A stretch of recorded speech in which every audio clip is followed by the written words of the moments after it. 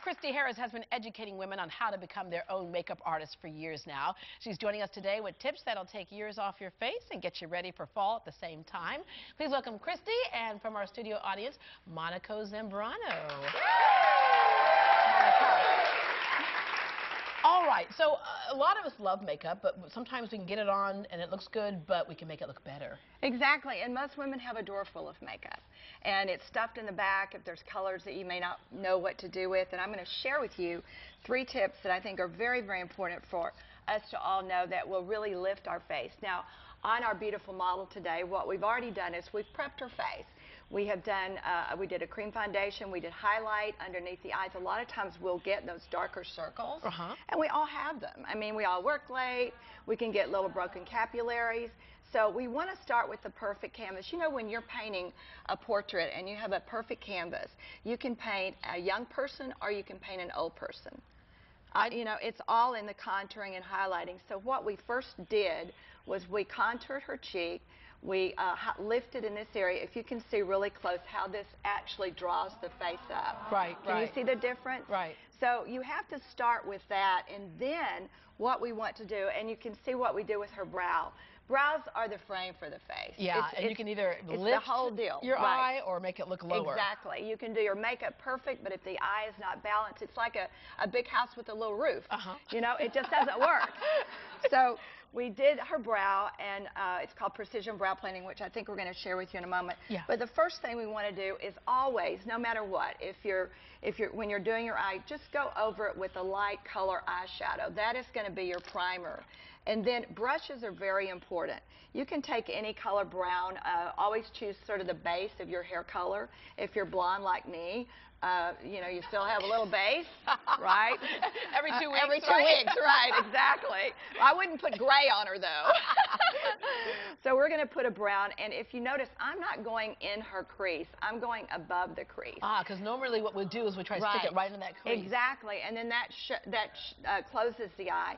So it's like a backward seven. Then I'm going to, right where I put it, I'm going to blend it like a windshield wiper. And see, this is where a lot of us get in trouble, Christi, when you say blending. And then I just saw you right. use your finger, right. which is, I was going to say, sometimes it, that can just help you blend it a little exactly. bit better. Or, or, the right brush, if you know the right the brush The brushes are very important. And then look on the lid. What I'm going to do is bring out that lid with a very light color. You may think, oh, I want a smoky eye. Well, you can get a smoky eye, but you want to also open that lid and have an anti-aging look. And then you can take an angle brush with even the same color that we did the contour. And if you just place that right here, have you seen those little lift wedges that get, that artists get right there? Look how uh -huh. easy that is. Yeah, and that's and also that where lifts. if you want to apply like a strong color mm -hmm. to do it as a little accent as opposed right. to all over. Right, just right there. So you want your accent here, you want your highlight here. Then eyeliner, uh, you can take a pencil, and if you notice what a difference this can make.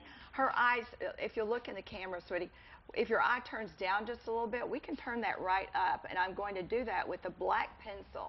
A kohl pencil is good because that will eliminate it from smearing. And I notice that you're pulling the eye taut on the which right. is a great way for us to get that line on there. Right. And you, we already did eyeliner, but see how that balances that up. Now, if you'll look right into the camera here, I'm going to color the pink ridge of her eye. Look straight up, sweetie. And I'm going to go inside, and if you'll look at the difference, of one side. Look at this, how it looks like it's turning down. Oh, yeah. Look how that turns you up. Oh, Isn't yeah. that amazing? Those yeah. little tricks. Just by going inside. Now, even mm -hmm. if you have a smaller eye, uh -huh. is going inside okay? It, it, that is a great question because a lot of times we've been told don't go on the inside, but when you're when you're doing your contouring for the eye, you're lifting. Everything you put on your face should never go horizontal. Everything should be lifted. That's what we want. We want that facelift, right? And she's young, she's beautiful. I mean, look at her. She looks great without makeup. Right, right. But it's those little tricks that make a that make a big difference.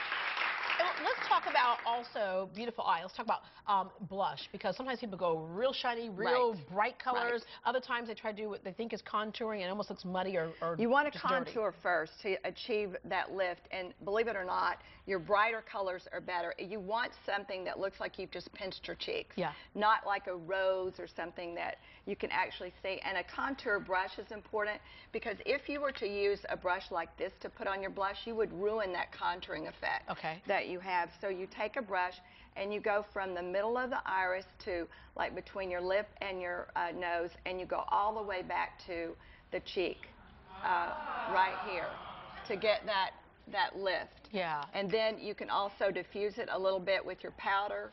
You always, always at the very end, you want to go over a little bit with your powder. Yeah. And then let's do lips. Now, Yes. if you want that larger lip, which she doesn't really need, but if you do want that pouty look, if you want to extend your lip, you don't extend it with a pencil that's the color of your lipstick. You, you ex- extend it with the color that your lip would be if you wanted it larger. So I'm going to Ah, correct okay, it so right try to here. match your- your lip Match your lip. You okay. want to extend your lip. It's like it's like lip injection without seeing a, a pencil line. Then you go over it with and and you let some of that liner, that lip extender show. So I really I did put some on the bottom, but I am going to bring it up straight here. You, You want perfectly a shaped peak. lips. Yeah, she does. you want this little peak here going Uh-huh. on. Like I said, never straight across. If you do your lip liner correctly at the beginning of the day, then all you have to do perhaps is just add a little lip color, you know, with your lipstick. Now, how many of you have a lipstick that you hate? That you got maybe with a gift or it's in the back of the Yeah. drawer. Or you thought and it you're was like, right, And, yeah. and you too, huh? Those men, oh my goodness. It's okay. It's All all right. right.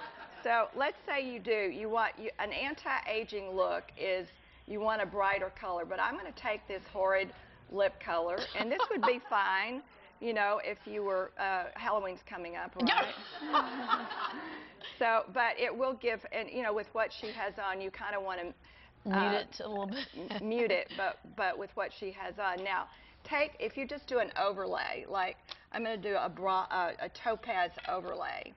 This is so cool. You can add this to any color in your drawer and really make it a pretty color for fall. The fall colors, you know, brow, big full brows are in, but if you don't have brows, we can show you how you can get a, a fuller brow naturally with your Uh-huh. lipstick. See how topaz mutes this down? Yeah. So yeah. if you have 15 lipsticks in your drawer that are bright and tacky and you don't like it, you can do one color overlay and you've got 15 to 20 new colors Yeah. for fall.